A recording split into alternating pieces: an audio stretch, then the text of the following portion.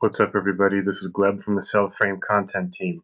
Today we've set up a Raspberry Pi in our office and we're going to show you how to set up a Cellframe node on it.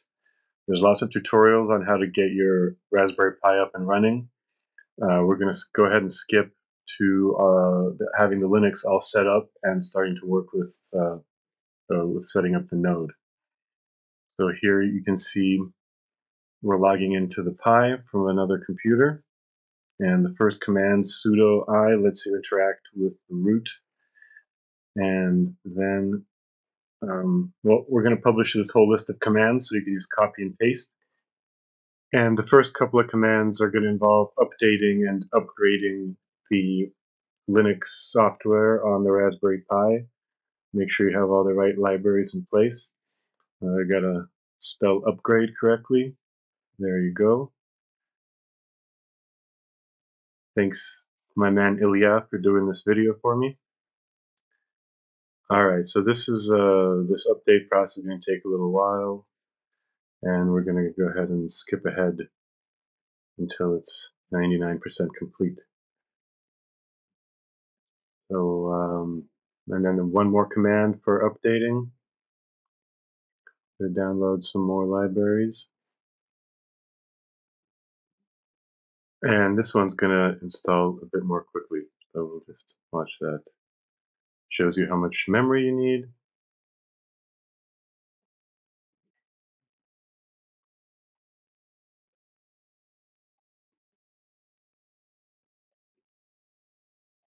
Okay, and we're back to the root.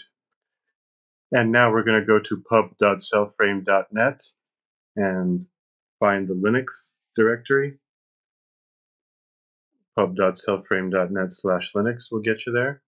And you're going to want to find the node version, that's the most recent, and that is designed for the ARM64 structure that is uh, on the Raspberry Pi.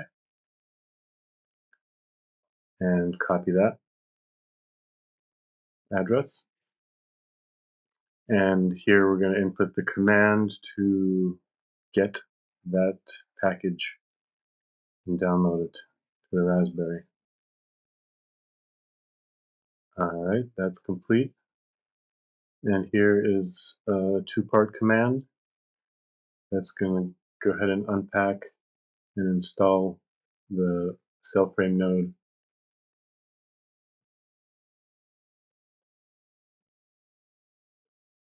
dpkg and then name of that file. Okay, now we're going to be asked a bunch of questions. Um, if you want to go auto online, you say true. Debug mode, we don't need that one. That's a false. Accept connections, we do want to do that. These uh, are going to be a couple that are, you can just keep the defaults for the server address and the server port. And the notify server address and the notify server port. And now it's going to ask us if we want to enable all the different available networks. We want to enable all of them and then choose the full node option. So right now uh, we don't have master nodes yet, but you can set up a full node. So here it's asking us for the Minkowski network. We also want a full node for that. The main net, the backbone, and the Mileena network. And we don't need to run any Python plugins at the moment.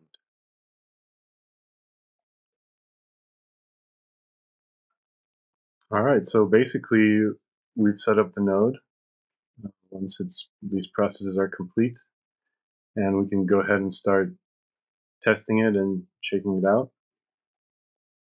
This uh, command will look at the status. You can see that the node is active and running uh, and a log of what's going on there. And you can see the tasks, CPU, etc., etc when it was set up 13 seconds ago. And all that other good stuff. Okay.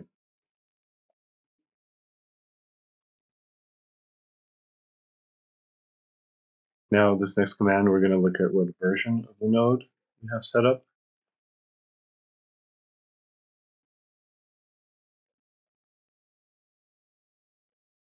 And you can see that the node version is 5.1.292.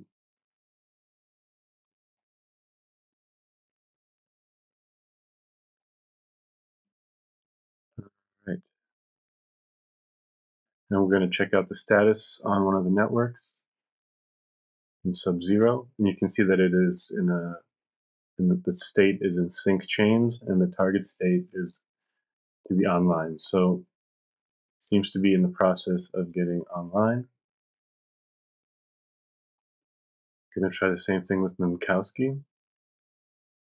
Aha, but we wrote the name of the chain wrong. It's actually KelVPN Minkowski. So here it shows you all the available chains, the four chains that we have running right now, three test chains, and the beta version of the main net.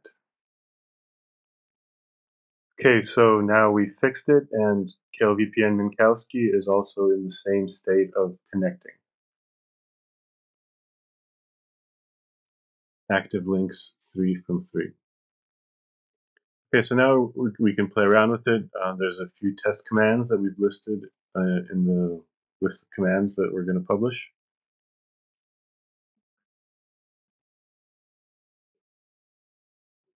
And this first one is going to look at the backbone chain.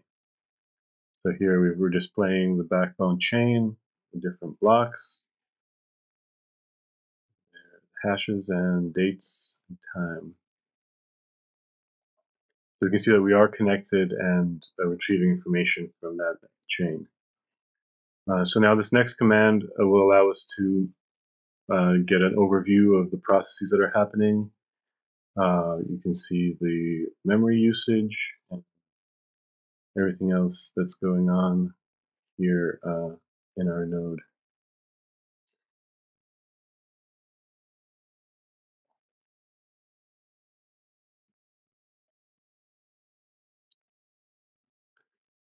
All right, so now, um, so yeah, that command was the HTOP command.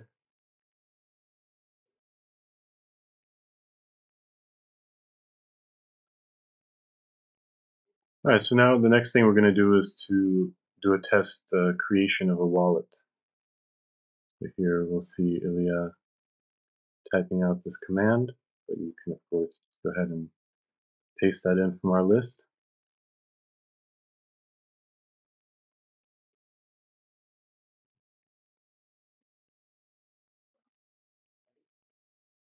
Creating a wallet new, then we will be naming the wallet.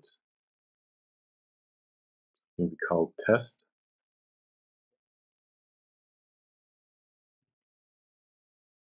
And it's going to be on the KelVPN Minkowski network.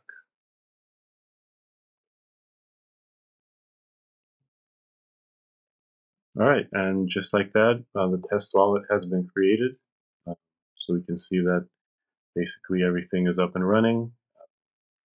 You know, this uh, I'm not a Linux guy, so this is all pretty cool for me interacting with computers in this way. So uh, I don't know how many of you out there watching are uh, Linux experts, but you know, um, even if you're not, you can do these basic steps and uh, have fun with it. And that's it for me. So uh, see you guys later back on the uh, Frame YouTube channel. Peace.